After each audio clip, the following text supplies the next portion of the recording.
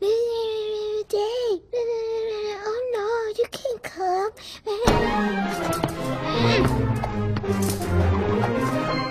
Oh my gosh, dude! You have to hang out with Chris Morris. He's the best! I just had the most awesome date with Penny, and he was the perfect wingman. I'm gonna ask Principal Brown if we can take care of him next weekend, and the weekend after, and the weekend after that, and the weekend. Dude, I'm trying to give you the silent treatment, but it doesn't work if you don't notice. Just try him.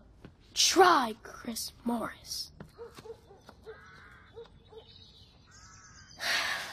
Things have changed. It used to just be me and him versus the world. But now all he cares about is Penny! I mean, of course I want him to be happy. I just wish I could be part of it. Am I being too possessive? I am being too possessive. Do you mind if I lie down? I think this all started a long time ago, back when I was still just a kid. I don't know why I'm so worried. It doesn't matter anyway. I just don't want to be left alone, you see? It's the silence, the terrible silence. You don't get to judge me, Chris Morris. You're not one of my dads. Oh, hey, Darwin. Oh, hi.